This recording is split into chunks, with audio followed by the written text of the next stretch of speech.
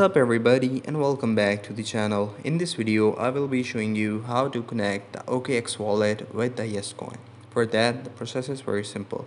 All you have to do is to tap on the YesScan button on the bottom right corner and in here all you have to do is to go to the OKX.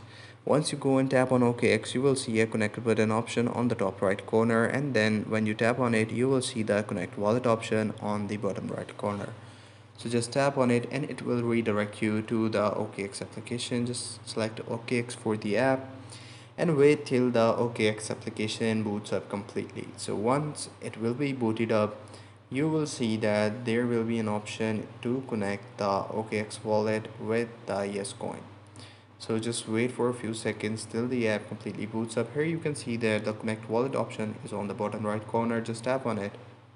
And once you do it you will be redirected to the TapSwap but let me make sure uh, let be sure that you already have a wallet in OKX. If you don't have the wallet you have to create one.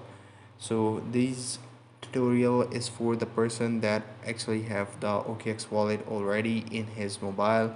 So if you don't have the OKX wallet make sure that you have one then follow these steps I hope you find this video helpful. If you do please consider subscribing to the channel. Take care. Bye bye